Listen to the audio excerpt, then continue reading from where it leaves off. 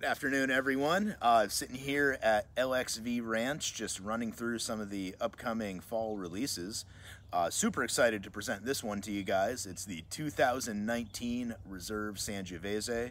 I think uh, most of you know by this point Sangiovese is uh, Neeta's muse, definitely her uh, the most inspiring wine um, to her every year and not just what we do here in California, but really searching through the history and having uh, those Sangiovese wines uh, from and in Italy.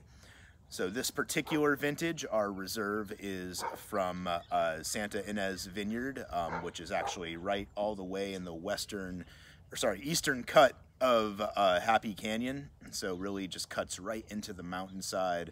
Incredible uh, sunrise views when you can make it out there at 5.30, 6 a.m but just a beautiful spot, um, very low cropped, uh, just a rich, uh, chalky, uh, chewy soil there as well, forces the roots to dig really deep because it's so well drained.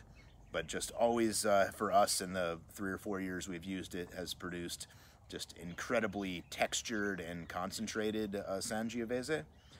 So this particular vintage, uh, no different. Um, I just stick my nose in right from a pop and pour and just uh, incredibly dense, uh, dark berry fruit, uh, what the Germans always call the fruits of the forest.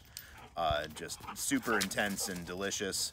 And the acidity on it, I think, is always going to be the most powerful of any of the wines we make. So really just cuts straight through, gives it lots of strength and staying power while also uh, pushing it across your palate all the way into that uh, big chewy tannin that comes through at the end. And I think out of uh, most of the Sangioveses I've ever worked with in California, this really pushes more in the European style instead of just going in that uh, candied fruit California style. So hopefully uh, I think we found a real nice middle ground between uh, old world flavor and texture and new world uh, character and emotion. So I hope you guys enjoy it.